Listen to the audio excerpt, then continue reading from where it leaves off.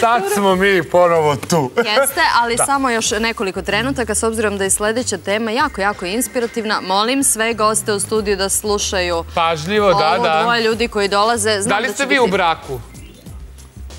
Aleksandar, Niste? ne? Dobro, Aleksandra pitam, da. Dobro. Dobro. A Bojan i, Ovo će možda vama da služi, ja nisam u braku, evo će meni možda da služi na to. Ali e, pričali smo i o njihovoj divnoj svadbi. Zapravo Da. imali ste dve svadbe. E, pazi. E, taman ćemo i razgovor. Ovi ljudi Da, da. su imali svadbu od hiljadu zvanica u Srbiji. Tortu na 19 spratova. I, A, znaš i to? Stvarno? Bravo. O, bravo. I Bravo. iskoristili su sve naše divne običaje. Molim vas a, da ih ovako aplauzom pozdravimo i da ih ugostimo. To su naši cukići, izvolite, dođite. Naši gosti, bračni par Cukić, Jovana i Nikola. Moje poštovanje, Dobar dan. dama, dobro nam došli. Dobar dan. Poštovanje, dobro nam Dobro mi došli. A sa nama je i Marijana Vukosavljević. Dobar dan, još jednom dobro mi došli. Dobar dan. Mi smo se već viđali kroz ove emisije i kroz kaje. Marijana, profesionalni organizator venčanja i kada ste pročitali, evo odmah da krenemo od toga kako su bračni par Cukić proslavili svoju svadbu, rekli bi netipična stvar za Srbiju, zar ne? I jeste, naravno, pogotovo u posljednje vreme kada naša sve svadbe više liče na američke nego na, na liče domaće. na američke? Da. E, ali ajde prvo da upoznamo kakva je bila svadba ovih Ajmo da krenemo dvoje divnih ljudi a, kojima želim pre svega želimo sve najlepše u zajednici. A mogli smo da gledamo, gledala sam i čak e, celu emisiju kako je sve to izgledalo. Sad ćemo malo i to- da se podsjetimo sa te strane, ali najviše volimo da čujemo iz prve ruke. Ali vidimo da je velika ljubav u pitanju, veliko poštovanje, da ste najpoznatiji u svom mestu i da ste prosto morali svima da izađete u susret i da ih pozovete sve. Čekajte, šta sad kažu u selu Krčmara nakon ove spektakularne svadbe i televizijskog emitovanja serijala u kom ste vi zapravo prikazali kako izgleda organizacija vašeg veselja? Tek se sad zvezda. Tek smo... Tek si sad celebrity. Tako je, još više smo postali poznati i na u opštini Rača, jer. Rača, e, moje selo pripada opštini Rači. Kad sretnem ljude na ulici, svi me prepoznaju i javljaju se po tome, a svi komentari na svadbu su bili pozitivni. Čekajte, hiljadu zvanica, torta od 19 pratova i svi stari običaji ispoštovani. To po Ajmo vašem hiljadu želji. zvanica da kažem. Kako skupite hiljadu ljudi? Pa, hiljadu zvanica je bilo u principu uh, uh, u toku pripreme, glavnog dana i drugog dana. Sve, Aha, kad se sve, saberu, u principu je bilo hiljadu zvanica. U prevashodno na dan same svadbe je bilo negde oko 700, oko 700 zvanica tog glavnog dana. A, što se tiče e, tih zvanica, u principu to je, e, tu je spadala naša rodbina. Prevashodno tu smo bili otprilike nekih 150-200 gostiju je rod- rodbina. U principu kod nas je običaj da se cijelo selo poziva na Stvarno? Bez, bez obzira ko znači, jer svi se poznajemo, selo nije moje veliko ime, oko negde oko 870 stanovnika u principu i cijelo selo se poziva. Znači, već je bilo takvih buklijom se svadbi. poziva, je li taj Buklija, običaj? d- obavezno, stari običaj. tako, da objasnimo i to, To je- pozivanje to je buklijom od vrata do vrata. Od davnina, od vrata Od do davnina, vrata to je i običaj je da se buklje uvek daruje, to Tako je neki je. stari srpski običaj. Tako je. Neko je darovo novčano, neko je darovo u nekim namirnicama, neko kako- bez Uvek obzira dođe kao kako. novčano. Tako je. Kao najisplativiji i najbolji. Koliko vam je dana trebalo da spremite tu svadbu? Trebalo nam je Meseci. meseci. Koliko bi trebalo da se spremi? Da su kojim slučajem u Beogradu to organizovali? Pa trebalo bi sigurno bar da se počne godinu dana unaprijed. Dobro. E, sad da čujemo. Koji su sve običaji ispoštovani? Koliko običaja? Bilo je Pa dosta ima- običaja. Bilo je dosta. Jeste, jeste. Preko desetak Dobro, običaja. standardno je jabuka, pretpostavljam iznošenje mlade na sam dan venčanja. Da li postoji nešto specifično za vaš, vaš reon dakle Ima za? Jovani, na primjer, običaj, to kod nas u Kažite. selu nema. Kažite. E, Ono mazanje garom, to kod nas Mazanje nema. garom? Da. Jovana? To je bilo dan ranije. e, Stvarno? Da, kad se podiže kapija, običaj je to da se mlada namaže garom, eto, zbog sreće dugog braka. Dobro. Tako da eto, to je nešto bilo, da kažem, neobično i... Ali malo si namazala. Malo, Da. malo. Dobro, za sreću. I petao, kod nas ima petao, negde to ne u, u nekim, u nekim mestima nema. Petao kao... Prodaje se petao kod mladine kuće, Vojvodici se prodaje petao. Aha. To je neki običaj stari, ne znamo ni zašto, zašto se A prodaje, kažite ali... mi vi, ukoliko se u vašem okruženju potenciralo da ispoštujete sve tradicionalne stvari, nekako dolazimo stalno do toga da li je to potreba mladenaca, jer stalno govorimo kada gledamo emisije u kojima se organizuju venčanje, stalno se govori o tome, ovi hoće ovu muziku, ma ne, pravimo svadbu da se mi provedemo, tako kažu mladenci. Da li ste vi istinski osjetili potrebu da sprovedete sve tradicionalne običaje ili jednostavno sredina sredina to nametnula. Ne, istinski smo hteli E, da, budu, da budu stari crpski običaji, da, Bravo. jer dolazimo iz takvih porodica i ja i Jovana, da, gde se poštuju još uvek e, e, ti stari običaji. I važno je reći da ti poštovanje običaja govori da negujemo našu tradiciju, a ne govori nikako predelo, dakle dolazimo i da to nikako ne utiče loše na nas. I baš zato želimo da apostrofiramo da je to veoma važno. Znaš šta sam pročitala Tradicija običaj? nas čini... Kaže, sedenje sve krvi u krilo. Je li ispoštovan taj običaj? Jeste, jeste. Jeste! Sedenje Jeste. sve krvi u krilo. Na- e. E, ajde čujemo ovo. Ovo je Čula običaj. običaj koji je na svadbi njihovoj bio. E, sedenje sve krvi u krilo. Da, oko nas, o, e, jeste, to je baš lepo. I sve krvi ili sve krvi? Je li kod vas. Jer kažu uvek da mm, postoje neki određeni animozitet sve krve i, i e, supruge, tako da ovaj, zato je to nama simpatičan Posle običaj. toga više ne postoji. Ali to je možda samo Možda za to je svadbu. dobro, znaš šta? Zato što ja mislim onda tek tada će sve krva da ti shvati kao njegov dete ili nešto. Pa jeste, A, pa jeste. Je li tako bilo? da. Kako je to bilo? Očedo. Kad mladoženja prenese mladu preko praga, Dobro. e, onda je običaj da se sede sve krve u krilo, da se eto, napravi mesto u porodici za, za mene. O, bravo, svaka Tako da, to čast. Nisam, nisam znao, si ti znao za to? Ne, iskreno ne. znaš kad se budemo uzimali, spre... Zapišite nam ovo. I nisu poklone. Da kažu, Marijana, generalno, ljudi, kada bi su vas pitali, ovo nije netipična situacija. Ljudi su ispoštovali svoju tradiciju. A kakvi su generalno zahtevi? Rekao bih da se to dosta razlikuje u gradskim sredinama, konkretno i Beogradu, u odnosu na e, druge ostatke Srbije. Pa da, Beograd je zadržao malo tradicija, E, ostala je kupovina mlade i to je više prešlo na taj neki šaljivi moment. Aha. I e, više tog gađanja jabukom ili tako, mislim, čak i nemamo ni mogućnost, pošto uslove, jer živimo u gradskoj sredini. Znači, to je jedini, mislim, običaj koji je zadržan. Kićenje svatova koje se isto modernizovalo, redko sad ko koristi taj ruzmarin i trobojku koji jeste bio, bila naš, naša običaj, naša tradicija, ali se zadržao u nekoj modernoj varijanti. I mi poštujemo komercijalne uslove, odnosno moramo diktirati, Naravno, ti trendovi nas se diktiraju i nekako i nas uslovljavaju da to ispuštamo. Ima li nekakvih kompromisa zapravo, kako vi kao organizator venčanja, da li možda nekako implementirati te tradicionalne običaje, nekako savremeni sistem, je li to je kako moguće? Pa možda bi i mogli kad bi imali ovaj želju ili potražnju od strane mladenaca. Znači, i kad se dođe do toga da roditelji žele da, da njihova deca is, ispoštuju neke običaje, mladi opet ipak više nisu za to. Da. Bar u gradskim, gradskim sredinama Pa gde to smo je ono mi što sam je najčešće. rekao, stvarno dolazimo do konfrontacije mladenaca kada gledamo emisije gde zapravo upoznajemo kako taj ceo proces prolazi i stvarno dolazimo do toga ko će muziku, ko će band, čiji je band, čija je muzika. A kako vi rešavate te situacije na terenu kada dođu mladenci? Pa uglavnom oni to reše sami prvo porodično kući, a onda smo mi tu da, da, da ispunimo želje. E, neretko, ali dešava se čak i da se naprave dve svadbe, da se napravi, po, mislim, dve svadbe u istom danu. Mislim, da se napravi popodne kao neki ručak sa familijom u restoranu, a onda da nastavimo žurku u nekom klubu i, i, I da se to će veselje- preći u običaj, definitivno, naš, ovo je srpski. ja ostajem ovo, ovo, ovo Ti, ti kažem, ti se ne javljaj s obzirom da sam ja tebe zgazila, od nedavno smo sklopili Natalija, naša svadba televizijski će onda brak. trajati tri dana. I ja sam njega zgazila. Ko je koga zgazio? Solomon, vas? dan samo za mene. Ja mladoženja. E, Ispoštovala si sve, je li tako? Taj do... Sve, da. E, dobro, to mi je drago. Nije bilo teško, kao što ni meni nije bilo teško da zgazim ognjena i, i, i, i, ovaj, i opet ću. E sad, ona torta. Jao, torta. Molim te, slatkiše zaboravljaš, a znaš šta hoću da pitaš za tortu. Da, da, da pitam da li je prava od 19 pravih spratova. Jeste, bila je prava. Od deve... Ej, na ledi, torta od 19 spratova. I to Da, sam da. isto čula. Ja mislim, naša komšinica je to napravila. Stvarno? Stvarno. Jo, Mislim bravo. da da. Stva- a njihovu tortu od 19... Jeste, sad ću da vidim koje je to torte. Ajde. Ako ima slika. Stvarno? Ajde. Posle čikarnica. Ne. Ovo je u stvari Mislim da znak da je svet jako mali. Tako je. Eto da znate. Od čega je bila ta torta? Ukusna je bila, verovatno. Svi pojeli? Svi. Svi. Ostalo je možda jedno ili dva.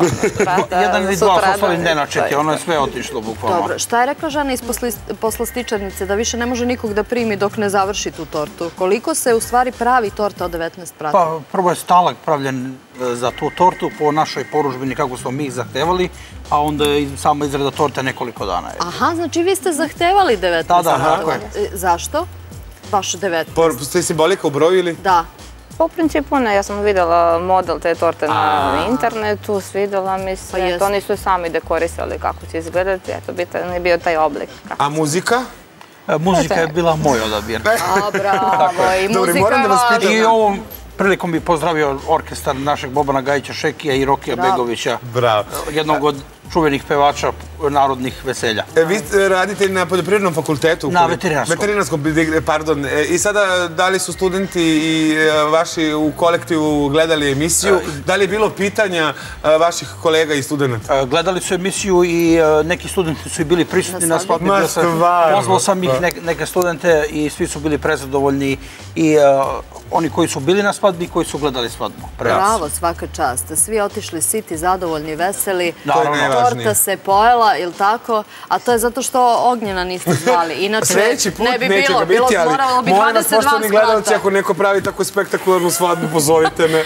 Ali Bar ćemo više doneti dobru energiju. Marijana, koji su to e, najzanimljiviji momenti, odnosno zahtevi e, vaših klijenata? Da li možemo da, da navedemo neke netipične primere kada već i govorimo o samim venčanjima? Pa eto ta situacija, imali smo i mi ovaj, sa tortom, ali je 10 spratova ili 9 bilo, s tim da je 8 bilo fake stiropor, a zadnja, zadnja dva su bila prave. I to, Znači, ima i toga. E, čuli to se jako često radi, čak i po Stvarno? hotelima beogradskim, često su te fake torte, da bi mladenci isekli samo gornju tortu, da se brzo posluže ljudi. To je više znači, zbog neke brzine. Ali i da jer se onda u kuhinji sve ostale torte već i seku i spreme i iznesu se gostima da, da se posluže i to jako brzo ide. Tako da je to čak i, i praktično. I, e, o- i ako ima još neka situacija, anegdota možda, pa...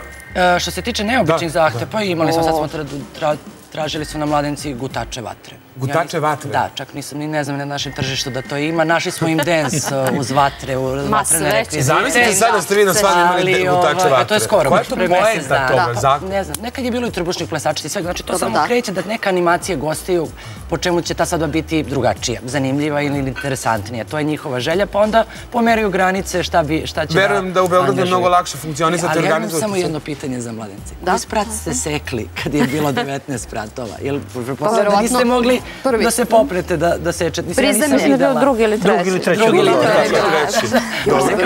Koliko je zapravo organizacija venčanja u Beogradu komplikovana, koliko zapravo traje ta sama priprema i da li je mnogo lakše mladencima koji imaju svoje zahtjeve dođu kod vas, odnosno da li je mnogo brži taj sam proces. Čuli smo koliko da su oni date. pripremali svoju svadbu. Znate kako, nama posle 17 godina rada nije komplikovan, Mhm. jako brzo to ide, jedino što je problem što su a, a ljudi ili muzika, bilo šta, restoran može biti zauzeto, Aha, pa onda moramo na vreme krenuti. To je razlog zbog čega mi kažemo godinu dana unapred.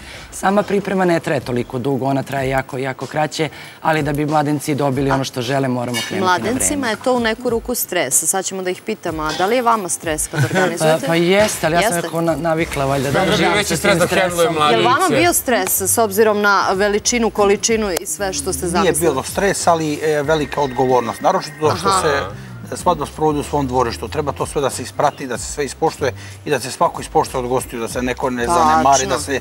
Dešava se da se neko naljuti uvek, da neko... To i moje tim isto, samo da neko ne jeste. prokomentara, ali to jeste da dobar velika je domaćin, suština i, i Velika je svega. odgovornost. Hajmo samo kada smo kod zanimljivih venčanja, zamolit ću vas da ostanete sa nama još malo i da se zabavimo. Koleginica Aleksandra odradila istraživanje Jo, jedno na to i hoćemo da najavimo našu Ajde. Alex. Aleks, o čemu se radi, Aleks? Najneobičnija venčanja. Natalija, u skladu sa temom i mi smo otišli u nekoliko inostranih država i proverili šta se to zanimljivo dešava kod njih na dan venčanja ili nešto ranije ili kasnije. Tek hajde da krenemo od početka i krenut ćemo od Škotske. U nekim delovima ove zemlje upražnjava se tradicionalna ceremonija pre venčanja u kojoj mladence polivaju kiselim mlekom, pokvarenim jajima, ribljom čorbom i ostalom hranom jakog mirisa. Jer u Škotskoj postoji verovanje da će par koji ovo uspe da podnese podneti i probleme sa kojima se budu susretali u zajedničkom životu. Na tradicionalnom nemačkom venčanju postoji običaj da gosti lome porcelanske posude kako bi se oterali zli duhovi. Tada se očekuje od mladenaca da nered počiste zajedno, čim im se daje lekcija da brak neće uvek biti lak, ali da je uz zajednički napor moguće savladati svaku prepreku. Potom, u zemlji vina i sireva Francuskoj, mladenci su nekada nakon venčanja morali da piju ostatke sa svadbe iz WC šolje. Danas ovaj običaj podrazumeva male porcelanske replike toalet šolja kojima mladenci nazdravljaju za dug i srećan brak.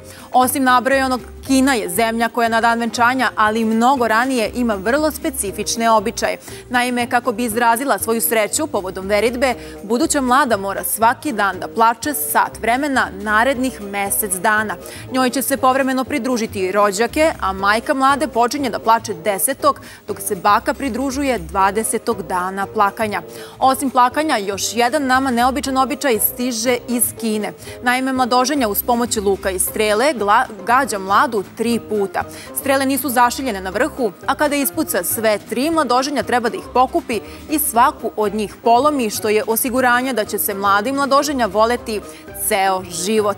Natalija i Ognjene, šta vi imate da kažete? Meni se ne sviđa ovo posljednje, mladoženja gađa mladu tri puta. Da li ste čuli za plakanje od mesec dana? Pa ti odmah gledaš po sebi sad. Pa ovo kiselo mleko na početku meni je onako malo senzualno. Hvala ti, Aleks. Evo, da toga nije bilo, ne bi ni znao. Ne znam, tvoja svadba je najrealnija od svih nas ovdje možda u budućnosti. Ja ću ostati na pucanju jabuke, sedenju sve krvi u krilu, to mi je sasvim prihvatilo. Znam i koga moramo da pitamo još. Budi Aleks tu ovu što nas u ovu nam priča, moramo i nju da pitamo njena svadba će vratno biti blizu. Aha, dobro, da čujemo da njen... Molim samo pametnu uvo da nam kaže koji običaj nas čeka na njenoj svadbi. Da li se posipamo mlekom, pucamo, da, sa strelama. Ili sedimo sve krvi u krilu. Ili da sednimo sve krvi u krilu. U krilo, okej.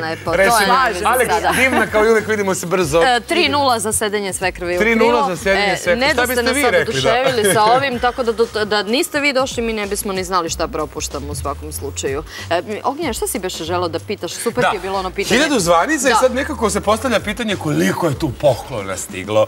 E, ja sam iz manje sredine, u tom slučaju kod nas se donose i kućne potrebštine, bela tehnika, ali pre svega i novac. E sada, koliko je stiglo poklona od hiljadu zvanica? Pa pravoshodno su bile koverte sa novcem. A od kuma? Televizor. Vi ste bogati sada. Koverte isto. Koverte isto. Podomaš. Dobro. Dobro. Tako da pravili smo svadbu dva dana, pa drugog dana su pretežno bili pokloni, tako da smo dobili te neke kućne aparate i sitnije, krupnije, veš mašinu, televizor. Sjajno. Marija, je li ovo sad u poslednje vreme tako koverte i to sve vidim da čak ispisuju na e, pozivnicama? Zato što se to dešavalo obstrukcije na to. Ne dođu pare ili ne stave u kovertu pare i to se dešavalo. Pa da, priča se da nađu prazni koverte. Ali sad možemo tako da nastavimo. Ne, htjela sam da pitam u stvari, videla sam da se baš štampaju pozivnice sa sve ovo je dozvoljeno, poželjno, pa ne znam, onda dolar, da, a onda precrtana pegla, recimo. Da, bilo je toga. Mislim, nisam u skorije vreme se susrela s tim, ali preno 5-6 godina smo imali baš često, bile su moderne takve pozivnice, ali već sad u zadnje vreme skoro da poklona ni nema. Znači, koverte su 99% poklona na svadu. To samo u ovom Jonici. Da. Koliko kutija za te koverte za hiljadu zvanica treba da bude velika? I gde je to? Ko to čuva? Ko je to obezbeđenje? Čestitanje, to mi je isto. Da, i čestitanje. Kako ste čestitanje? Čestitanje, koliko ste fotografija napravili? Da, kako to? Jeste izdržali to? Koliko je trajalo čestitanje? Koga mi je fotografisanje slikalo? Trajalo jedno od sat vremena i više. I fotograf pa u nesvesti, jel? Ma mlada, štikle, venčanica, toplota, ljudi. Jeste izdržali? Pa jedva. I koliko je to poljubaca bilo? Da. Da. Vi ko predsjednici kad odu negde pa se ono iščestitaju, pa znaš krene inauguracija. Sa svima, da. Čestitaju, to sve mora da se prođe. Svaka vam čast. I hvala vam što ste upravo na ovaj način pokazali kako treba da negujemo tradiciju i da je to veoma važno. Nekako tradicija govori dosta o nama, a i samim tim što ste šerovali tu sliku ljubavi koja je negde i zaista na kraju najvažnija. Čekaj, pozdravite, molim vas, se sve u selu.